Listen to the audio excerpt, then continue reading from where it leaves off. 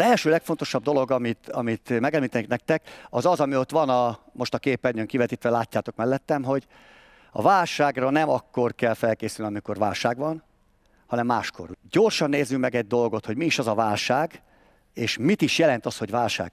Tehát volt egy helyzet nálunk, egy, egy ugyan veszélyhelyzet, és le, volt egy veszély érzet az emberekben, ugyanis ennek következtében az emberekből az jött le, hogy hoppá, mi lesz jövőre, hogyan megyünk tovább, hogyan fogok ebből én élni, hogy lesz, tehát egy bizonytalanság vett erőt az embereken, ez a kettő adta össze, hogy a válság jelentkezett a cégekben.